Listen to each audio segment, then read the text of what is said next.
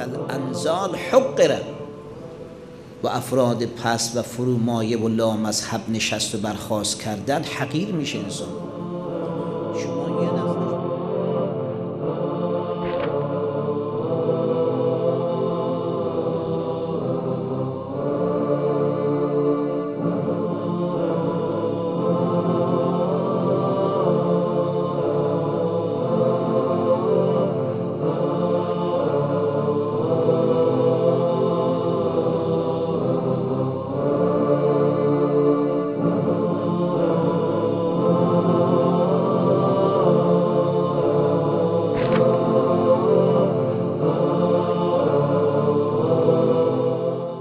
بسم الله الرحمن الرحیم. صلی الله علیک یا رسول الله وعلى اهل بیتک. المظلومین المعصومین الهدات المهدیین الحجج الميامين ولعنة الله على اعدائهم ابد العابدین و دهر الداهرین. عرائز ما از فرمایشات مولایمون امیر المؤمنین صلوات الله علیه از خطبت الوسیله بود از روزه شریف کافی. نه تمام خطبه که گفتیم گلچینی از خطبه مبارکه است. هفت روز بعد از شهادت پیغمبر خدا امیر المؤمنین سلام الله علیه در مسجد مدینه این خطبه رو ایراد فرمودن که جامع و شامل بر همه مطالب. رسیدیم به این کلمات. و من حتی که حجاب غیره انکشفت عورات بیته. نسخه بدلم داره انکشف عورات بیته. پرده دری کنه. اسرار مردم رو بگه. نسبت به حالا بعضی مطالبشون خوبه بعضی مطالبشون بده. گاه اوقات کسی خوشش نمیاد خوبیش هم بگن. دوست نداره خوبیشو بگه میگه نفسم ضعیفه. نمی‌خوام تعریف کنیم الانسان علی نفسه بصیره اگر کسی مفرمد کشف عورات کنه پنهانی های دیگران رو آشکار کنه اندرون خانه خودشم آشکار میشه. نسبت به امورات خودش هم همینجور میشه. ترس همین باشه ترس از آخرت هم نباشه. پن ساکت باشه به همه چیز دخالت نکن. منحصر به این نیست آه. یه چیزهایی فرمود که حتی نقل کردنش یه چیزهایی هست که اینها نصیحت توش. دید انسان برای زن و بچهش نقل کنه. روایت هم داره. پند و موعظه است. اما حتی حدیث داره مگر دیدید بیرون کسی رو شلاق زدن نقل نکنید به دیگری؟ چه به زن و چون چه به دیگری فرمود اینها مربوط به فواحشه. یه جور نشه مردم عادت کنن بگن خب عجب پس میشه اون کارو کرد بعدش هم شلاق و شخور بگه خوب شلاقی هم بود. بله. با اون حرفا نیست. حالا در اون بعضی هم خوب خدا خیرشون بده. کاسبیشون اینه. میگه چرا کاسبیم رونق نمی‌گیره؟ آخه صندلی که در مغازه گذاشته به کار همه فضولی می‌کنه آدم جز کار مغازه خودش. و اون استاد ما به تاجر بود تو نیشابور خدا رحمتشون کنه هر دوشون فوت کردن. هم استاد من هم تاجر. فرمود حال لاقلش اینه که روز ده بار جارو کن مغازه تو کمتر بیرون در واسطه نگاه کنی بین برور وای میسته کی رفت اونجا؟ کی اومد؟ این کی بود؟ دیگه حال بعض وقتا بعضی فقط باید بشینن یه ماشین چه بوغ بزنن؟ بفرما. سنگ فرش و آسفالت و این بنده خدا بزرگیش به همینه. بعضی هم خوب شرفشون بالاتره. دو دستی می‌کرد. یه دستی نه. این داشت مشتیش قوی تره لاتیش کم بیشتره. به همه چیز کار داره. این صندلی مال چیه؟ اقلش اینه چشمش به ناموس مردم میفته دلش هم نمی‌خواسته اما افتاد. نگذاریم دوربین خیلی فیلم بگیرین توی دیگه جا نداشته باشه. به در دیوار زمین حیوان کوچک بزرگ. این یه نوع تجسسه ذهن مشغول می‌کنه. آلوده میشه ذهن فکر همیشه مشغول. کاری کنه کم ببینه کم بدونه از اطراف اکناف. اگر شست مغازه رو چپ راست نکرده باشه این حافظه پر نمیشه. یا آیه قرآن نگاه کن. چی داره بیرون که به درد می‌خوره؟ می‌خوایم ببینیم. ها؟ جز اسباب معصیت. اون قسمت چه نگاه کنه؟ حسادتش می‌گیره. به این بر نگاه کنه کینش می‌گیره. به اون بر نگاه کنه حوست مد لباس می‌کنه با این طرف نگاه کنه میگه ما باید ماشین هر جلسه با هم بگیریم به قرد مثل این ماشین خوب. به اون نگاه کن ناموس مردم کوچک و بزرگه. نه خیلی مطلب بود دلسوز بود. نگاه کردید ضعیف بیچاره با چه وضعی؟ خورد زمین خجالت کشید. دل آدم میسوزه. و چه منفعتی بود؟ بفرمه دخالت نکنه. کشف عورات نکنه. پنهانی های دیگران نریزه بیرون اندرون خانه خودش رسوا میشه. فرمد من نسی زلله استعظم زلل غیره. لغزش های خودش رو اگر کسی فراموش کرد لغزش های دیگران بزرگ میشمره که فلانی چرا این کارو کرد؟ به خودم اگه بگم چرا این کارها رو کردم اینجور نمیشه. تا میشنم اه اونم آره. ما خیلی از این آراها خودمون داریم. دفترچه حساب کتاب خودمون ببینیم. یه دادی زد اونجا. با بزرگترش. فکر کنه این زلل این لغزشه. لغزش خودش رو فرمود اگر متوجه بشه از لغزش خودش حضرت مفرمد نسیه فراموش کنه لغزش های دیگران بزرگ میشه برای شروع می‌کنه. این چرا اینجور شد؟ نه بابا. گفتیم یه آینه بردار خودشم نگاه کنه. بعد مفرمد و من اعجب برأیهی ظله کسی که تعجب می‌کنه از رأی خودش همیشه. متعجب از رأی خودشه. یعنی خودبینه. خود ستاس ما خوب می‌فهمیم. من این نظر رو دادم غیر این نیست. حالا شد بزرگ خانواده نه اینکه دیگه اجبار استبداد برای کنه. و من استقنا به عقلهی زله. اون بازا بود گمراهی. اما کسی که بگه من عقل خودم کامله اینجا رازایه یعنی لغزش. رای زنبوریه بگون ما زای زنبوریه. و من استقنا به عقلهی زله. لغزش دارم میشه. بگم عقل من خوب کار می‌کنه. همینی که من گفتم همینه. اشتباهی درش نیست. این لغزش ها زیاد این آدم. و من تکبر علی الناس زل این دالزال مفرماید که کسی که تکبر بر مردم داشته باشه زلیل خواهد شد. این زله اینجا معنی ذلته همیشه بزرگمنشی داره. دیدید بعضیا میان از در وارد میشن باید بیان اون نوک مجلس بشینن. تو کوچه را میره یه جور نگاه می‌کنه که این سلامش کنه. کسی که میفرم تکبر داشته باشه. می‌خواد بزرگمنشی داره. حدیث داریم این اشخاص به وجه فجیعی از این دنیا میرن با ذلت و خاری زمینگیر میشن بعد دنیا میرن متواضع باشی. وا مصیبت ها این که ما عوام میگیم خاکی باشیم تکبر نکنه فرمود. زلیل خواهد شد. بر مردم تکبر کنه. بزرگی کنه بر مردم. بدین بزرگی رو خدا باید بده. اهل بیت باید بدن. جون بارها شنیدید رو همین منبر و مجالس. یه غلامی آفریقایی اهل نوبه. امیر علیه السلام خریدش برای ابوذر شهید در ربزه رحمت الله علیه. که اون سومی تبعید کردیم بزرگوار اونجا. بعد گرسنگی مرد.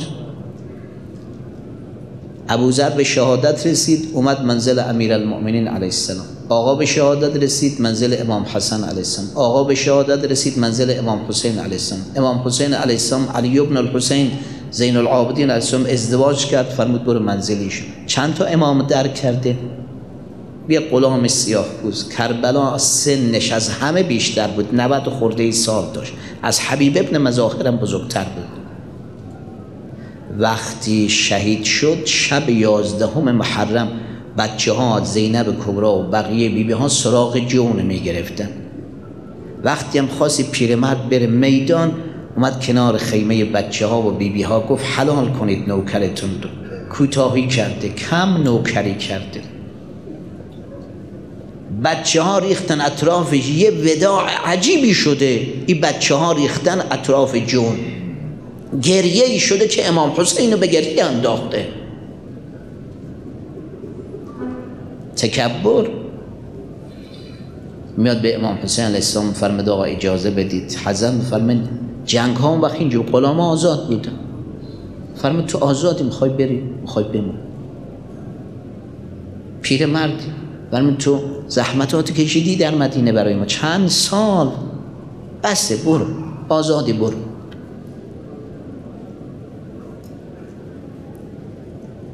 انما تبعتنا طلبا للعافیه. تو کاری می‌کردی اذیت آزار نباید بهش جنگ که دیگه کاری به تو نداره جون برو. دید نمیشه. ببین چه جور تواضع می‌کنه. خدمت امام نمیاد بال. من آ پهلوانم. من شمشیر زن قهاریم. فرمد آقا ان لونی لعصبت من سیاپوستم.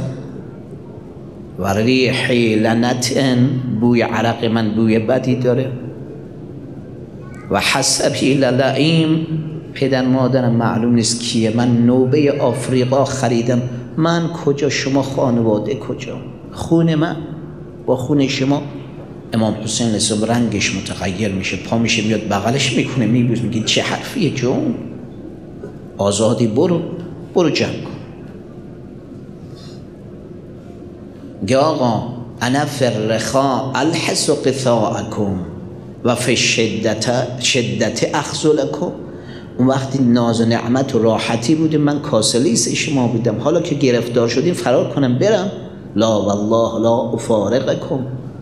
حتی یلتخت دمی الاسود به دماءکم الطاهره اهل البیت. تا این خون سیاه من با خون پاک شما مخلوط بشه تواضع نوکری بود در خانه. نوکری در این خانه بکن نگردن کلفتی. تواضع نوکری چه شد؟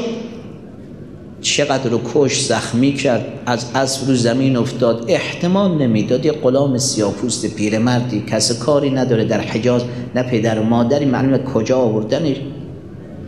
یه وقتی یه نفر با دو دست سرشو داره رو زانوش می‌ذاره. خونهای چشمشو فرقشو برطرف کرد. چشماشو وا کردید امام حسین علیه السلام. این تواضع این نوکریه.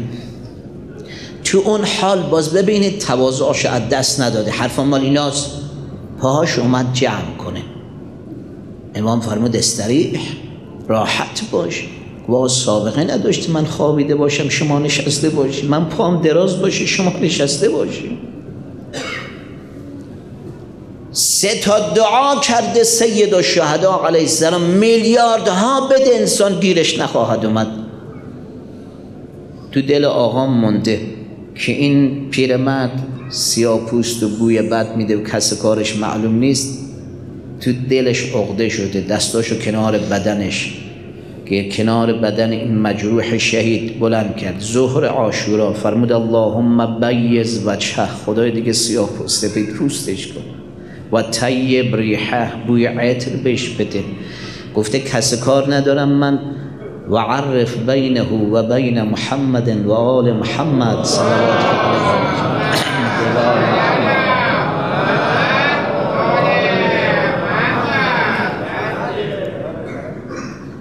هم نشین و همراه و هم جلوس چه کسانی اهل بیت؟ کس کارش اونها بشن. این تواضعه. من تکبر علی الناس زل زلیل میشه کس تکبر داشته باشه. اما تواضع داشت عزیز میشه. فرمد در ادامه و من خالت الانزال حقره. با افراد پس و فرومایه مخلوط نشه انسان. جلوس و رفت و آمد و معاشرت و خورد و خوراک و تفریح و رفیق گرمابه و گلستان باشه. اگر اینجور باشه انسان کوچک خواهد شد حقیر خواهد شد حقر انزال تو روایات چیه؟ تارک الصلاته کسی که فرمود ابایی نداره زنشو کسی ببینه یا نبینه. کسی که ابا ندارد حرف رکیک بزنه یا حرف صحیح. کسی که معامله به حلال داشته باشه یا حرام. روزشو خورد یا نخورد؟ باطل شد یا نشد؟ موفق شد به روزه یا نشد؟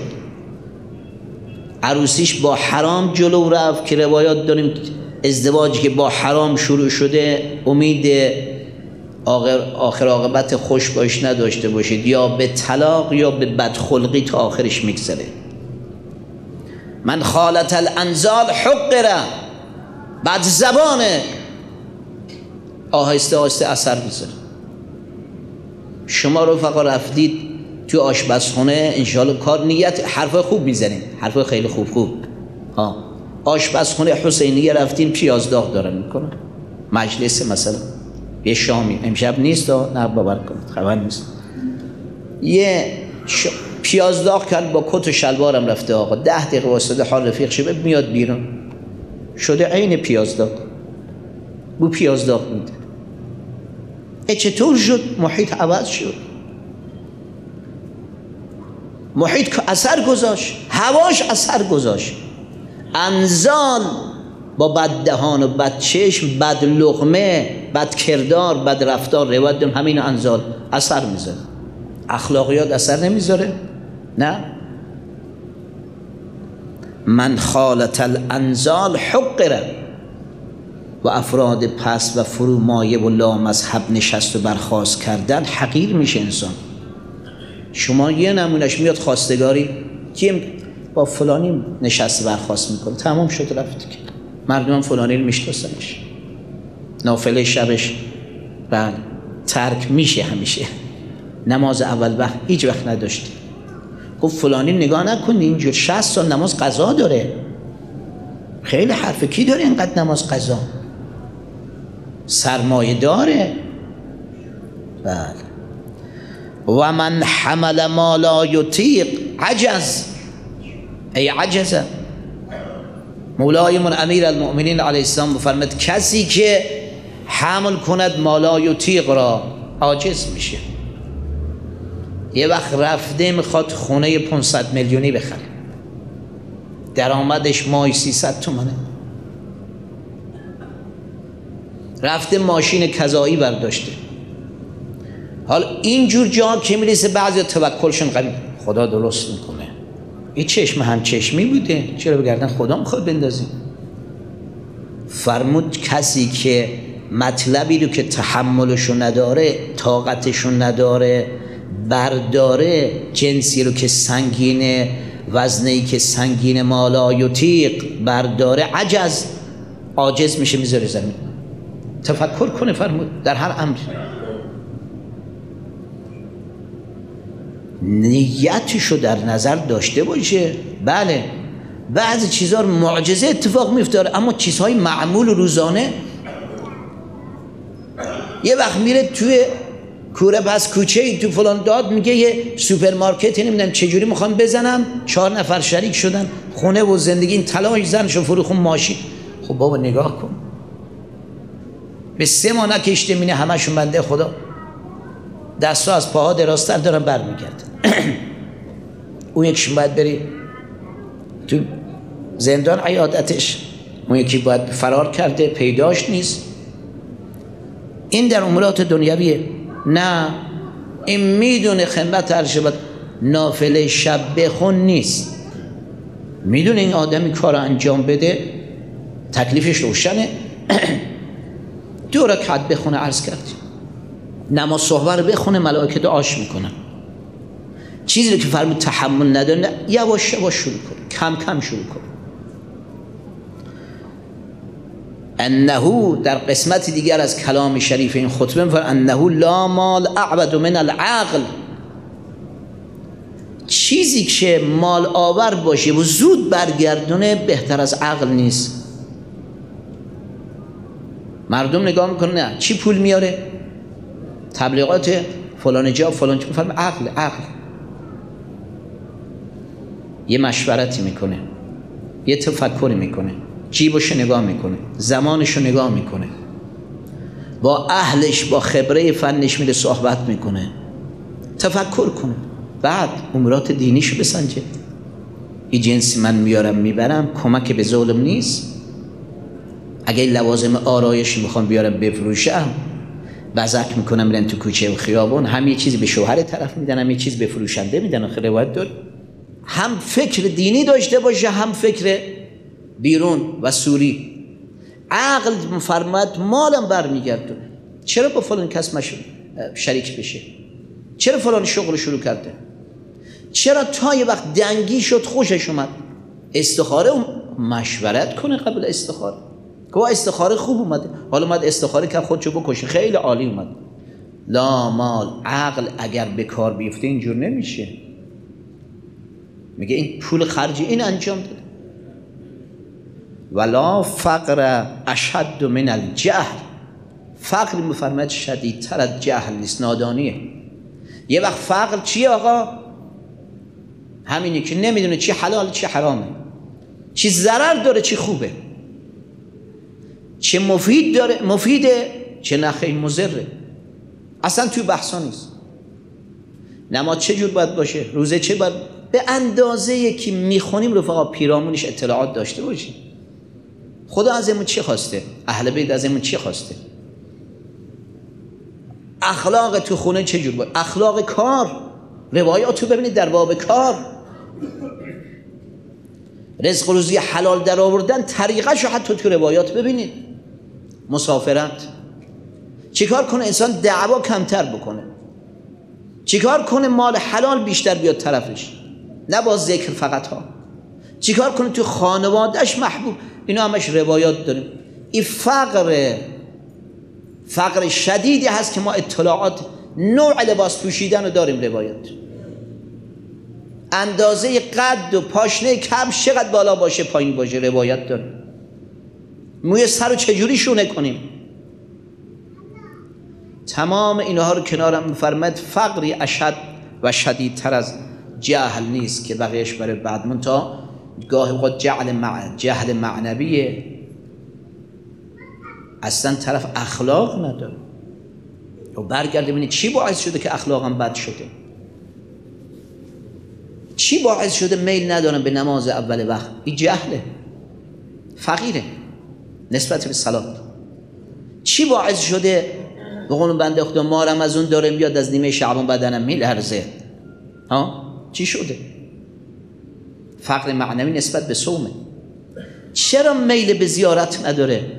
این فقر داره نمی‌دونه زیارت امام حسین علیه السلام چه ثواب ها چه خاصیت های معنوی دنیوی مادی اخروی جسمی روحی فکری داره. فقیره. نسبت به چی؟ به علم به زیارت فقر داره. جهل داره نسبت به ادب به پدر و مادر به بزرگتر. این جهلش فقر آور نکبت ها میاد بریم بپرسیم. آقا می‌خوایم بریم مثلا این مسافرت آداب دو دقیقه بپرسید رفقا برید. فقط چیزای مالی و خمس رو نپرسید بعضی باز نماز روزشون هم می‌پرسن. بعضی ها فقط وقتایی که از کارشون میمیره برای ارث من میشینن مراجعه می‌کنن. بپرسیم این دختر می‌خوام شوهر بدم چی چیز فرموده خدا و اهل بیت؟ داماد چه صفاتی داشته باشه؟ پسر می‌خواد ازدواج کنه فقر دینی نداشته زنی که مورد پسند خدا و اهل بیت چه صفتی داشته باشه؟ می‌خوام وارد جامعه بشم کاری شغلی صفاتش چی اون کار شغلی که مورد نظر خدا و اهل بیت برکت دارم هست؟ دنیا و آخرته. می‌خوام رفیق انتخاب کنم. می‌خوام توی محله برم. لا فقر اشد من الجهل.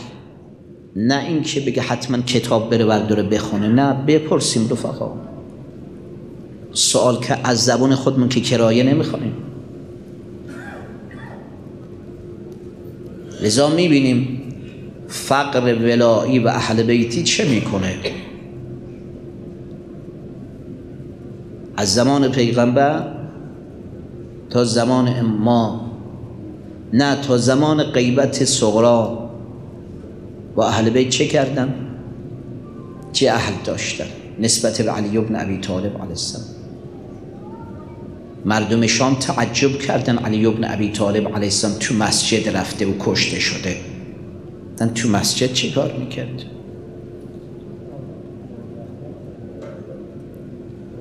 جهل نسبت به انوار مقدس اهل بیت علیهم السلام باعث شده؟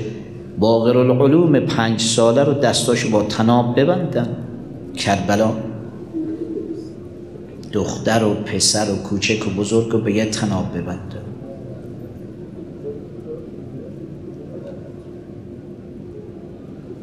بزرگتران رو بزنن با تازیانه چرا راه نمیرید یه مقدار تندتر راه برن کوچکتر به زمین بخورن.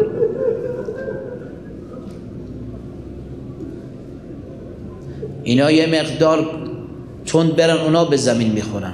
تند نرن کتک می‌خورن هم فرمودی امر بر ما بود تا ما رو به شام رسون. یکی از محافظین این زن و بچه میگه من رسیدم نزدیک دارالعماره خب تو شهر چرخوندم رفقا اینا برای ما ساده است میگیم. چل منزل نه آسفالتی نه زمین صاف سنگ لاخ تیق بیراه گاه اوقات باید به سرعت می بردن چون یه شهر یه آبادی سر راه شیعه بود و محب اینا دست به شمشیر می شدن نیزه دارم گفتن از بیراهه باید ببرید. این زن و بچه رو می دوموندن تو این بیابون ها چطور؟ اونم افرادی که این همه زج خوردن این همه داغ دیدن گرسنگی تشنگی تازیانه بحثای دیگر رو که نمیشه گفت. حالا بچه چهار پنج ساله چه جورش تو شامم که آوردن سه روز پشت در ایدارم شما تاریخ پیدا کنید ببینید سر وعدم بهشون غذا می‌دادم آب و خوراک می‌دادم بهشون. شهرم که آوردن استقبال اومدن سنگ و خاکستر و حرفای دیگه. حالا رسوندنشون جلو به دارالعماره هوا گرم اینها رو جلو آفتاب نگه داشتم. چند ساعتش بمونه یه وقتی وارد کردن میزها رو چیدن و میوه ها رو چیدن و زنهای رقاصه دارن میرقصن.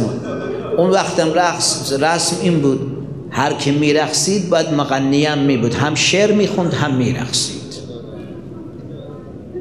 چهارصد نفر سران کشوری و لشکری بالا و پایین نشسته مثل بالکن مانند داشته. یکی از نگهبانها سرپرست نگهبانها میگه نزدیک کاخ که رسیدیم یه کاری برای من پیش اومد. به سرباز بعدی سپردم. شما تا اینا رو تو راه رو به کاخ می‌برید دیگه مردم اطراف نیستن. من خودم میرسونم. داشتنی زن و بچه میبردم کارم تموم شد. برگشتم. آخر صف وارد راه رو شده بود. از قبضه شمشیرم گرفتم. به سرعت دویدم که برسم همراه اینها. آخرین نفران چند تا بچه بودن. به تناب بسته شده بودن. دختر بودن و پسر. این معمور میگه دیدم سنگ فرش راه رو خونالوده. میگه جای پای کوچک و بزرگه تاولای پاها ترکیده بود. تو این جماعتی که می‌رفتن آخری ها چشمم به پسر بچه افتاد نور از سر و صورت و جبینش ساطع لامع بود. گفتم من انت اسم تو کیه؟ کی تو؟ گفت محمد ابن علی ابن الحسین. من نوه حسین ابن علی. پسر زین العابد امام باقر پنج سال است. گفت نگاه کردم سرش خاکستر ریخته. اما همین عرض مصیبت من دیدم پیشانی شکسته. خون به صورتش شد. تعصی کرده بود به بابا بزرگش که پیشانیشو شکسته بوده امام فرمود تو این بازار شام آمدیم کسی از ما نموند که سرش سنگ یا چوبی نخورده بود. السلام علیکم یا اهل بیت النبوه شبکه جهانی امام حسین علیه السلام حسینیهی فراتر از کهکشان